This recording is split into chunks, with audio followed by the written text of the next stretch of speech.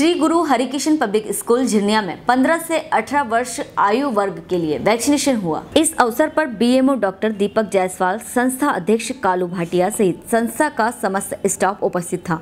वहीं संस्था अध्यक्ष कालू भाटिया ने सरकार को धन्यवाद देते हुए कहा कि बहुत ही अच्छी बात है कि 15 से 18 वर्ष की आयु वर्ग का वैक्सीनेशन हो रहा है और इससे आने वाली बीमारी से लड़ा जा सकेगा। झिरनिया से सुखदीप सिंह भाटिया की रिपोर्ट।